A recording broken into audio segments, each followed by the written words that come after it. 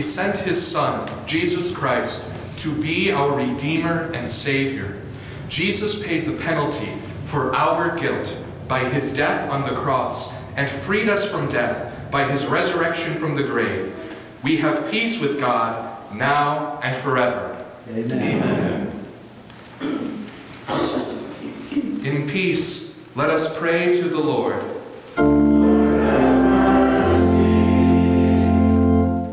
For the peace from above and for our salvation, let us pray to the Lord. For the peace of the whole world, for the well-being of the Church of God, and for the unity of all, let us pray to the Lord for this holy house, and for all who offer here their worship and praise, let us pray to the Lord. Help, save, comfort, and defend us, gracious Lord. The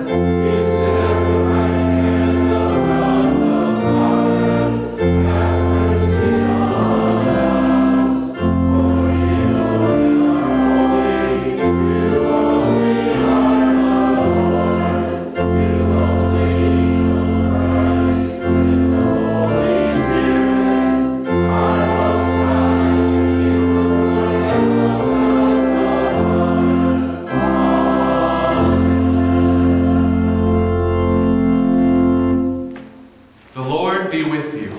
And also with you. Let us pray. Living God, your almighty power is made known chiefly in showing mercy and pity.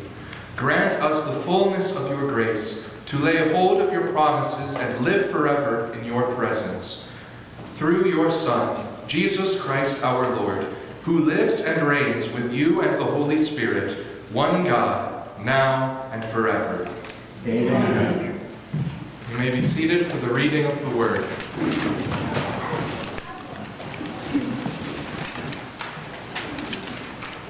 The first lesson appointed for this Sunday is taken from Isaiah chapter 65. We read, See, I will create new heavens and a new earth. The former things will not be remembered, nor will they come to mind. But be glad and rejoice forever in what I will create.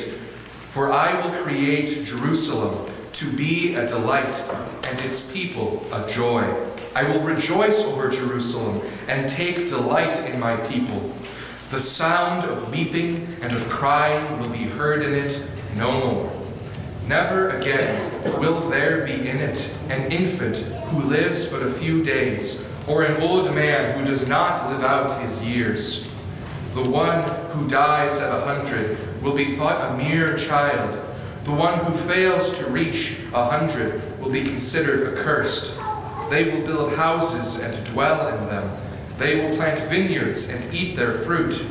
No longer will they build houses and others live in them, or plant and others eat. For as the days of a tree, so will be the days of my people. My chosen ones will long enjoy the work of their hands. They will not labor in vain, nor will they bear children doomed to misfortune. For they will be a people blessed by the Lord, they and their descendants with them. Before they call, I will answer, and while they are still speaking, I will hear. The wolf and the lamb will feed together, and the lion will eat straw like the ox, and dust will be the serpent's food. They will neither harm nor destroy on all my holy mountain, says the Lord. The word of the Lord. Thanks be God. The psalm of the day is Psalm 148e. The organist will play an introduction, and then we will sing the verses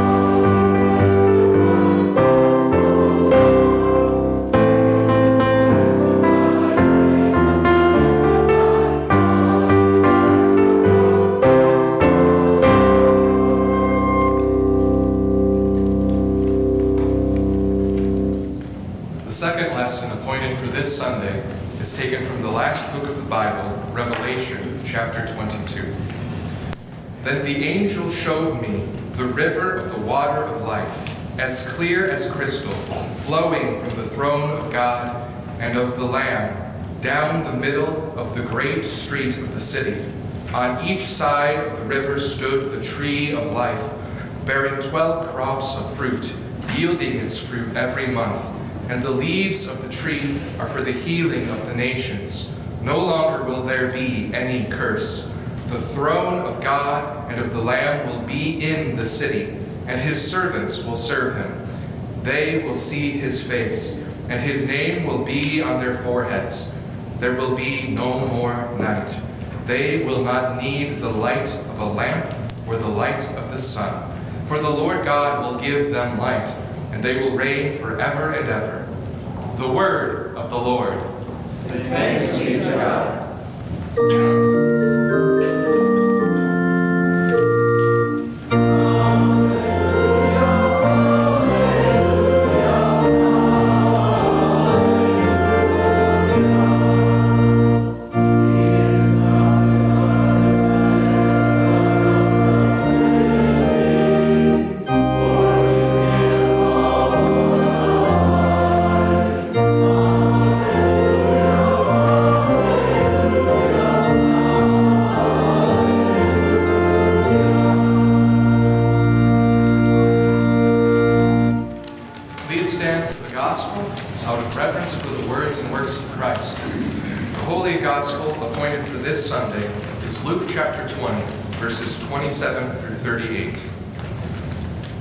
Some of the Sadducees, who say there is no resurrection, came to Jesus with a question. Teacher, they said, Moses wrote for us that if a man's brother dies and leaves a wife, but no children, the man must marry the widow and raise up offspring for his brother. Now there were seven brothers. The first one married a woman and died childless. The second, and then the third married her. And in the same way the seven died, leaving no children. Finally, the woman died too. Now then, at the resurrection, whose wife will she be, since the seven were married to her? Jesus replied, The people of this age marry and are given in marriage, but those who are considered worthy of taking part in the age to come and in the resurrection from the dead will neither marry nor be given in marriage, and they can no longer die, for they are like the angels. They are God's children, since they are children of the resurrection. But in the account of the burning bush, even Moses showed that the dead rise. For he calls the Lord the God of Abraham, and the God of Isaac, and the God of Jacob. He is not the God of the dead, but of the living.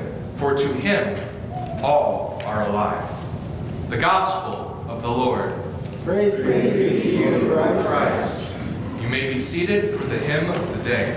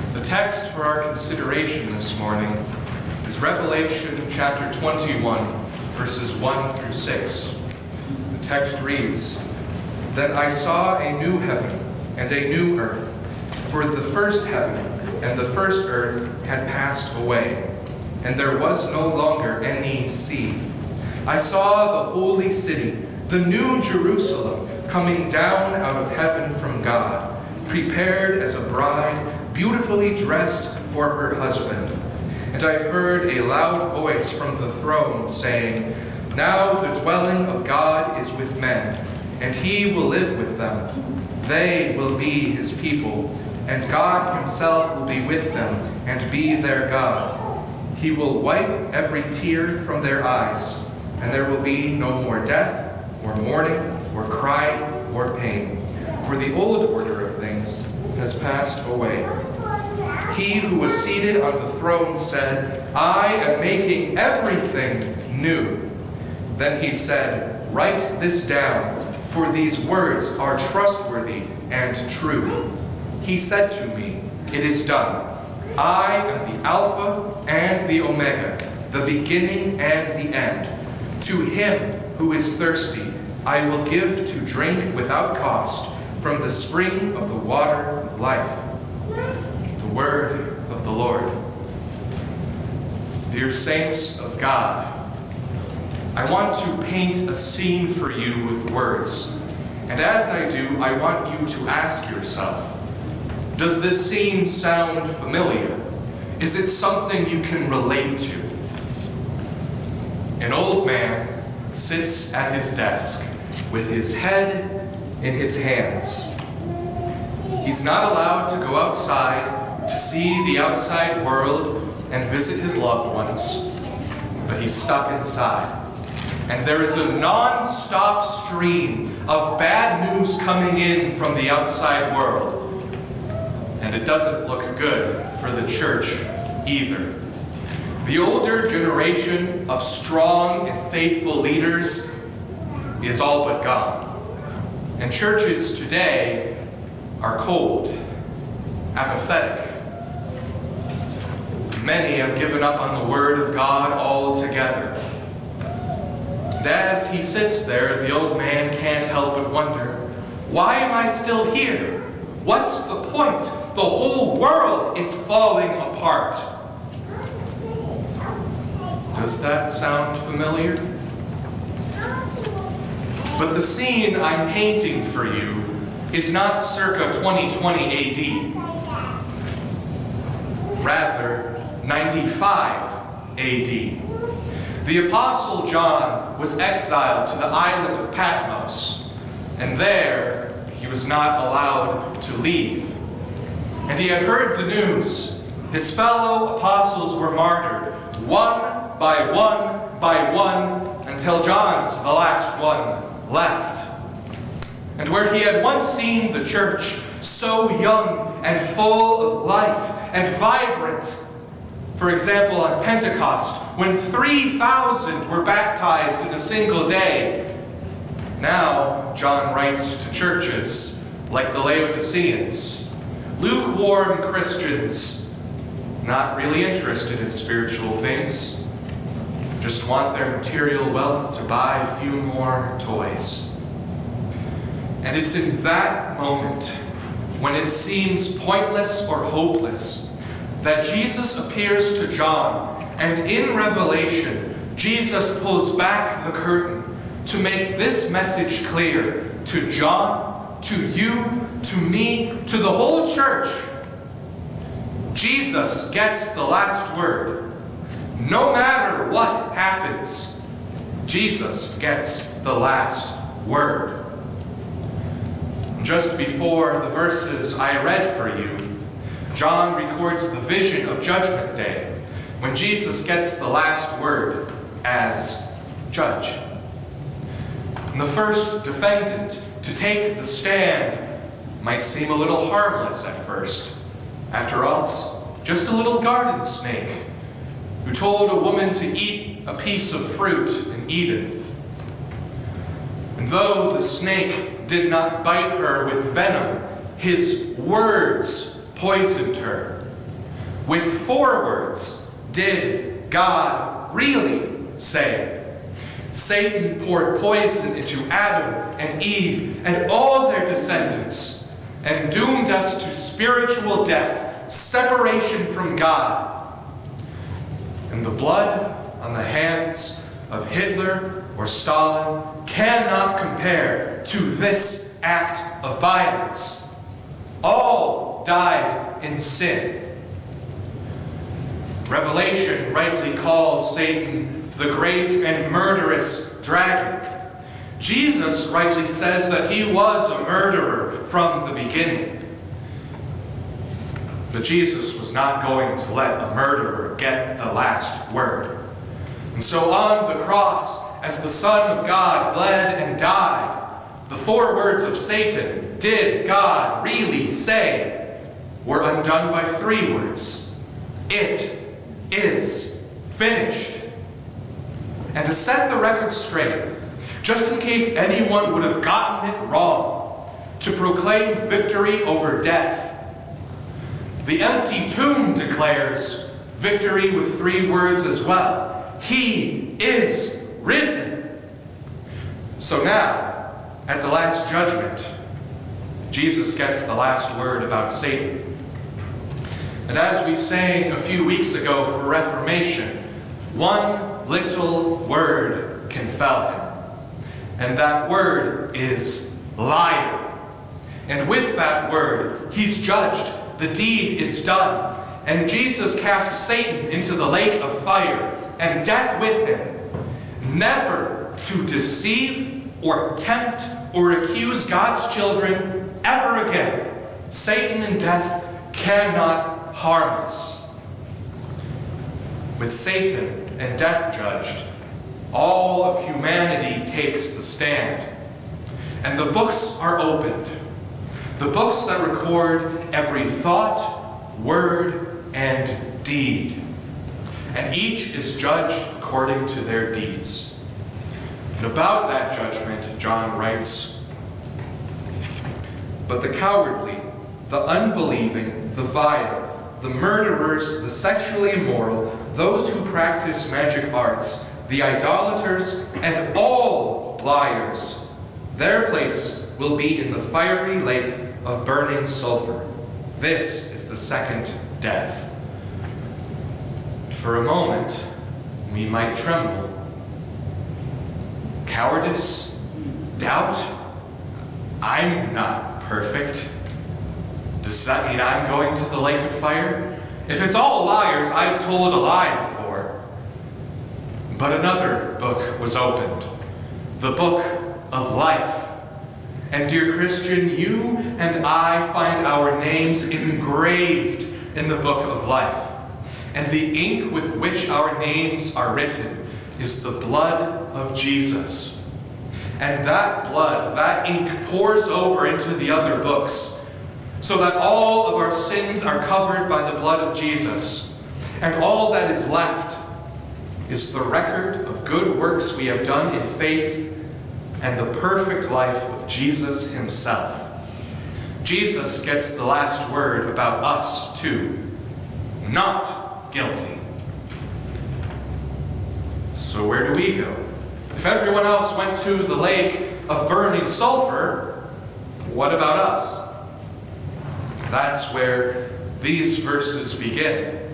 John sees a new heaven and a new earth, and with it a new Jerusalem descending from heaven, personally prepared by God Himself, more beautiful than anything you've ever seen before. And I can only imagine that as John sees that beautiful city descend, tears well up in his eyes. Because John knows he knows the old Jerusalem. He remembers. He was there. But he also heard the news. It was destroyed by the Romans about 20 years ago. And to understand what it would be like for John to see that new Jerusalem, I want us to consider something 20 years ago in our own history. How many of you can remember 9 11? Where you were, what you saw, what you felt? Take that feeling and mentally go to ground zero. See the ruins before you. And imagine them being swept into the wind, and down from the sky floats down new twin towers. And inside them are all the lives that were extinguished that day. That's what it's like when John sees the new Jerusalem. But it's even better than that. Jerusalem was a good city, but now, as we'll sing at the end of the service, Jerusalem is golden. God's name was always meant to dwell in Jerusalem. And that's where the Jews would direct their prayers. They would face Jerusalem because that's where the worship and the sacrifices happened. If you were in the city, you could go to the temple to be near the presence of God, but you could only come so far. Because if you came too close, for example, to the Holy of Holies, the presence of God, too holy, too perfect and righteous for you, would strike you dead in that moment. But that was the old Jerusalem. This is the new Jerusalem. And in the New Jerusalem, you walk down the street and see God as plain as day. And you can go up to him face to face. And like Thomas, you can touch the nail marks at his side. Like Mary Magdalene, you can cling to his feet. And Jesus isn't there just like a mall Santa to look good for the pictures and get a little grumpy with the children. No, he's happy that you are there. In the New Jerusalem, when Jesus sees your face, he smiles. He wants you to be there, and he's so happy that you are there. Let's consider for a moment what it would be like to arrive in the New Jerusalem. So that after everything it has taken you to run the race of the Christian life, all of the suffering and prayers, all the evil you endured, everything. You arrive there. And remembering what you've gone through and what Jesus did to get you there, it's all too overwhelming. And the tears well up in your eyes and you begin to cry. But when Jesus sees you, he sees you like the father of the prodigal son, and he runs to meet you, and he throws his arms around you. And then the hands of God himself will wipe away the last tears that you ever cry. And when we step back and behold our Savior in that moment, it's glorious like nothing we've ever seen before as the tears clear from our eyes. Because the head, once crowned with thorns and shame, is now radiating all the glory of God. The eyes which once wept over the sins of Jerusalem and the death of Lazarus are now glowing with joy like fire. The hands which were once pierced with nails to prepare this place for you are now holding the victor's crown of life for your head. And the mouth which once cried out in agony on the cross now declares with delight, Well done, good and faithful servant. Come and share your master's happiness. That's what it looks like when John writes, God is with men, and he will live with them. They will be his people, and God himself will be with them and be their God. In the New Jerusalem, when we worship Jesus, it's amazing because we don't need a church or a temple because God himself is there with all of his radiant glory. And we don't need lights or the sun because the Lamb himself will be our light. And we don't need crosses or other symbols to remind us of what Jesus has done because you can see the nail marks and you can touch his side That's what worship is like in the New Jerusalem. And there is so much we do not know about what that life will be like. But we do know this Jesus gets the last word about the old order of things. The old order of things has passed away, so that there is no more death, no more mourning, no more crying, no more pain, no more. And it'll be the greatest family reunion in all of history as God's people see each other again. And much like going to a family reunion, where everyone has to pack themselves in the car, and you deal with the different personalities on the road, and the children in the back constantly ask, Are we there yet? Are we there yet? Are we there yet? To the point you get sick of it. That's how we go through the Christian life, bearing with one another as we go through the valley of the shadow of death. But finally, on that day, we crest over the hill. Now the answer is, we're here. We're home. And to all the questions we ask, when, the answer is finally now. And for each of us, that question sounds a little bit different. We think about those who have gone on before us, and we ask in our hearts, when will I see him again? When will I see her smile? For me, the question burning in my heart is when will God let me hug my mom again? And on that day, on that day, the answer to all of those questions is now and always now. So that if you ask on that day, when am I going to see them again? The answer is they're right over there. You can see them. If you ask, am I ever going to be separated from them again? The answer is no more. This is a world without death and without mourning. It is also a world without crying or pain. In the new heavens and the new earth, everything just works and feels how it's supposed to. You never wake up and don't want to get out of bed. You never work and feel dissatisfied. You never feel like, ah, I'm not supposed to be here. No, everything is exactly the way it's supposed to be. And that new creation is stunning because the grass is greener than it's ever been before.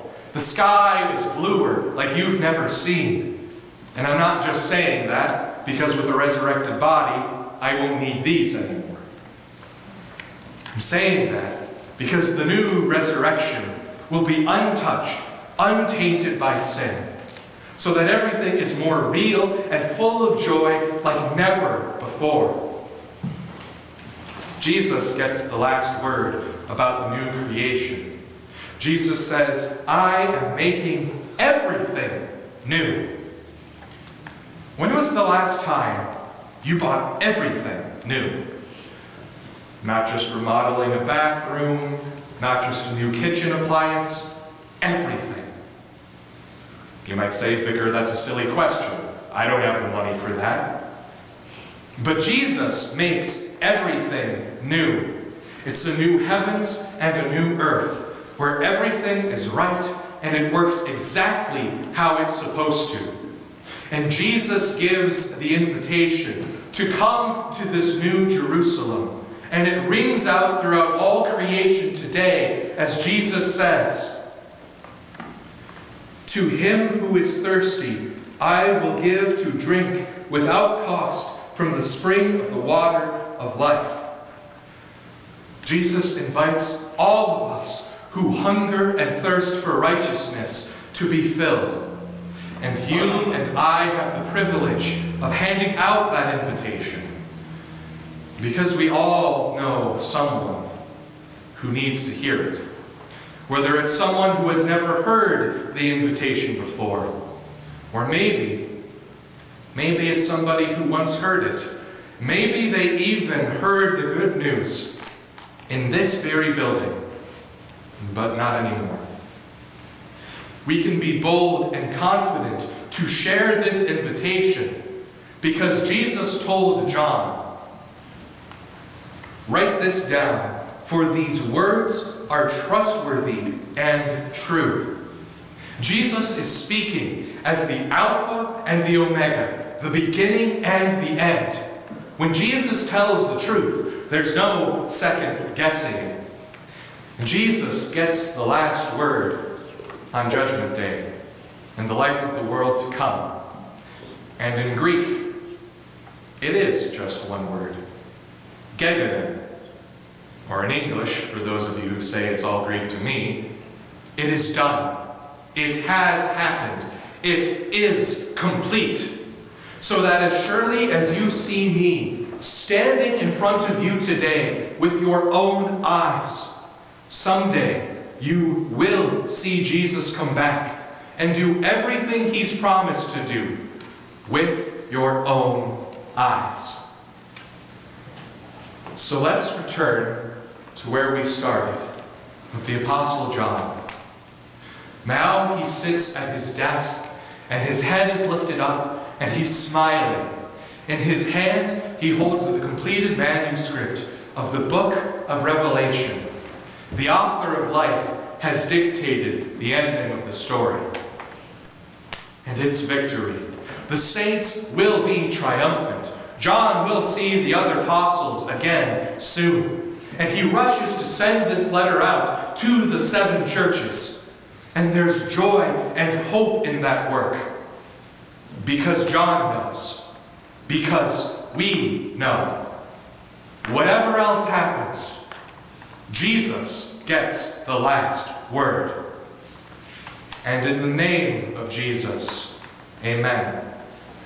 Please stand. May the peace of God, which surpasses all human understanding, guard your hearts and minds in Christ Jesus. We continue with our confession of faith using the words of the Nicene Creed towards the bottom of page 10. We confess. We believe in one God, Father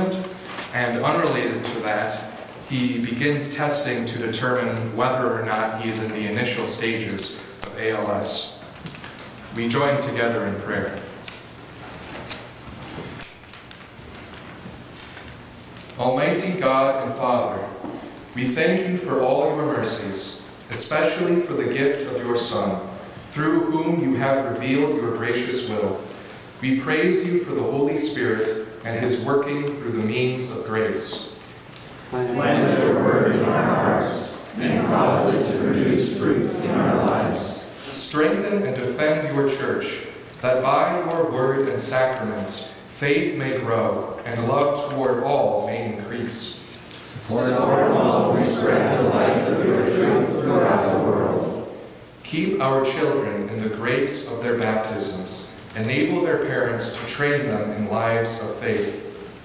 Raise up Christians to serve you in the ministry of the word and in all godly walks of life. Preserve our nation in justice and honor. Guide and bless all who make, administer, and judge our laws. Give them wisdom that they may promote justice and hinder evil. Let your blessing rest on planting and harvest, car- commerce and industry, medicine and science, the arts and culture. Protect all who travel and care for those whose work is difficult or dangerous. Lead all who devote themselves to useful task. Comfort all who are in sorrow or need, sickness or adversity. Especially, we pray for Brandon Major. Compassionate Father, in your mercy, you transform even sickness and disease into blessing for your children. With confidence, we commit Brandon Major into your tender care. Provide healing and relief according to your infinite wisdom and boundless mercy. Grant patient, patient endurance if suffering must continue. Help him to find true spiritual strength through Jesus and his cross in this time of physical weakness. Remember those who suffer persecution for the faith. Have mercy on those for whom death draws near. Grant them your love and into your care. Hear us, Lord, as we pray in silence.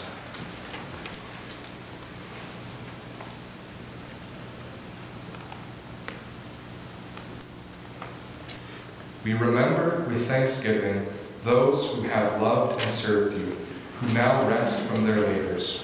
Console those who are mourning or living with sadness. Keep us in the true faith and bring us at last to the joys of heaven. Grant us these things, Father, for the sake of Jesus, who died and rose again. Amen. Please be seated for the offering.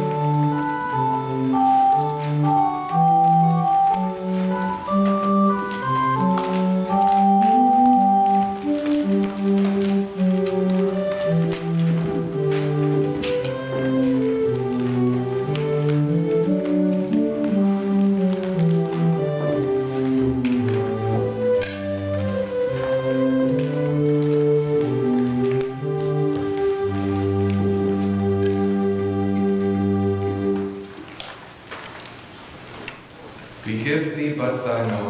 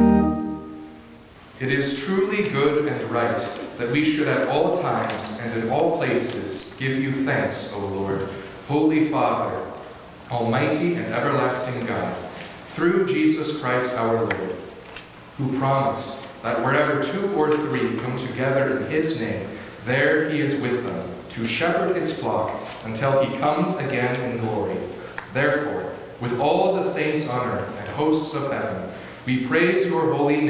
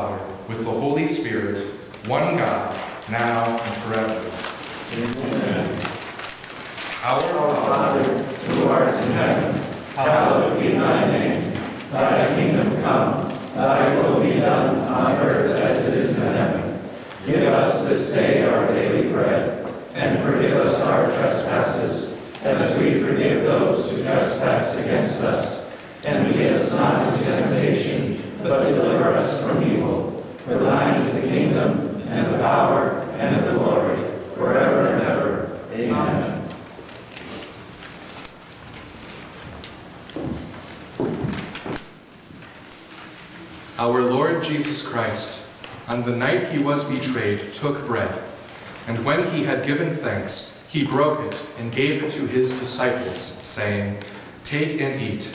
This is my body, which is given for you. Do this in remembrance of me. Then he took the cup, gave thanks, and gave it to them, saying, Drink from it, all of you. This is my blood of the new covenant, which is poured out for you for the forgiveness of sins. Do this whenever you drink it in remembrance of me. The peace of the Lord be with you always. Amen. Amen.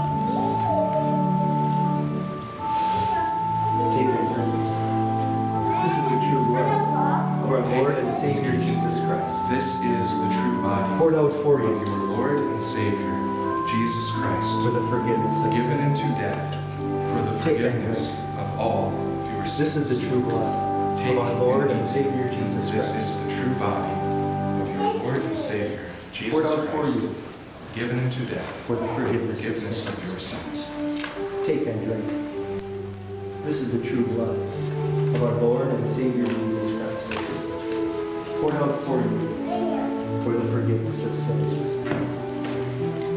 Take and drink. This is the true blood of our Lord and Savior Jesus Christ, poured out for you for the forgiveness of sins. May this strengthen and keep you in the true faith until life everlasting. Depart in peace. Your sins are forgiven. Amen.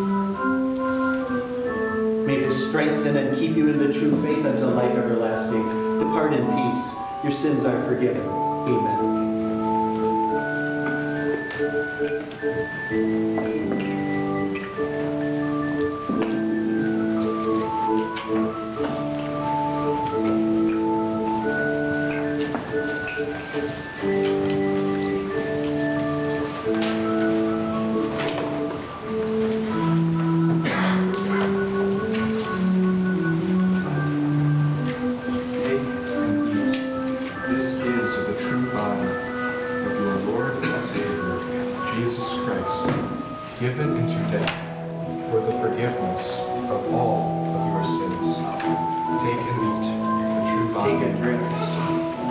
This is the true blood of our Lord and Savior Jesus Christ. Take and eat. This is for you. true body for the forgiveness of sins. Jesus Christ. Take and drink. into death. This is the true blood of our Lord and Savior Jesus Christ. Take and eat. The body out for you. Given into death. Forgive us forgiveness of sins. Take and drink.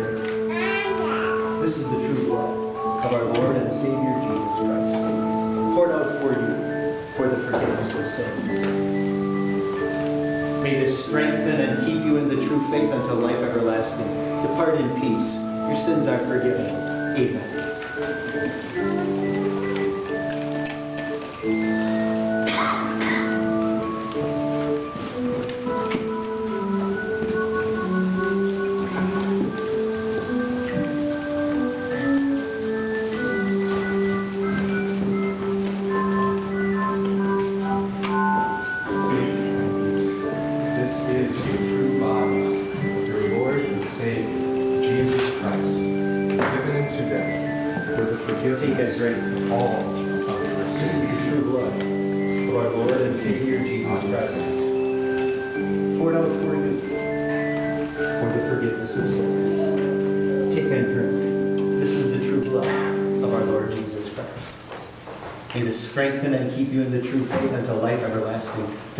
Peace. Your sins are forgiven.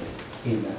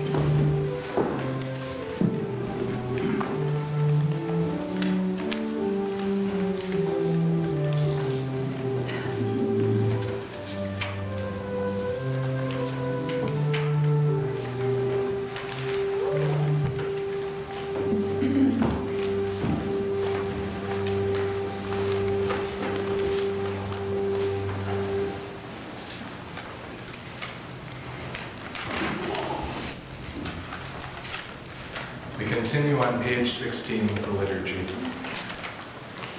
Please stand.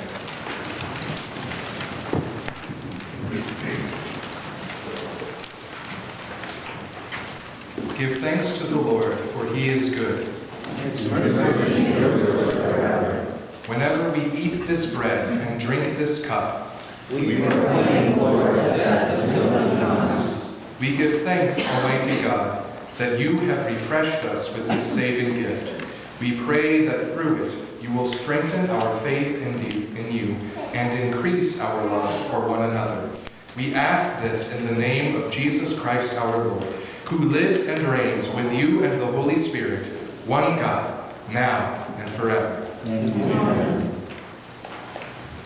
The Lord bless you and keep you. The Lord make his face shine upon you and be gracious unto you. The Lord look upon you with his favor and give you peace.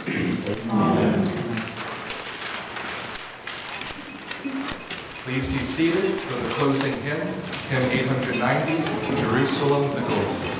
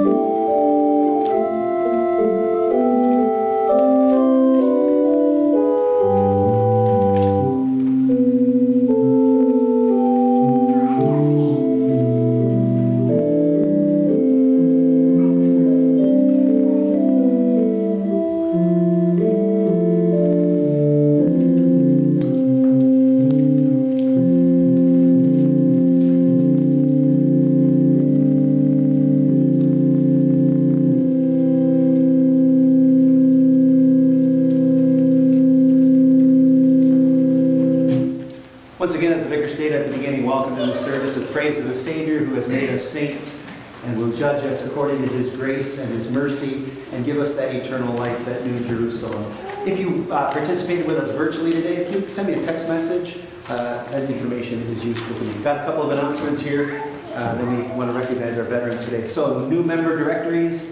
Uh, hard copies are available on the gray folding table in Narthex. I'll send out a digital copy uh, later today. Next Sunday, uh, Joyce Lehman will be here from Thai Village with its annual craft sale. Uh, those crafts go to support those people in Thailand we're working with. Uh, so uh, remember that as you make plans for next Sunday. Risen Savior in Mansfield is a mission congregation that we are supporting uh, each quarter with our gifts. Uh, they have sent a letter of thanks, a card of thanks, and pictures of what they're doing uh, with the extra amount that they were not uh, counting on this year, but uh, our, our members have given that, and we are thankful to them as the work that they carry out. Poinsettias are available for purchase. Envelopes are there on the poinsettia sign-up. Uh, the deadline for signing up is the end of this month. And now, as we exercise this week the freedoms that we have citizens of the United States of America in the election that we held, we're thankful to all those veterans who spent their time and their efforts in safeguarding those freedoms and defending our country's Constitution. And we'd like to recognize you, so please stand. Those of you who are veterans. Thank you for your service to our country.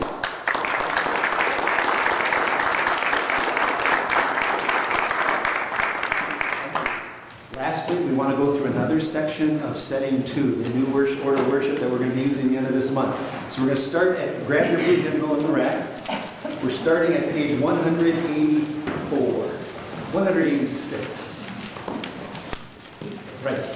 With the Jesus, Lamb of God. We we've done these before, so we're just going to sing them. Adult choir members, please gather at the back. 186.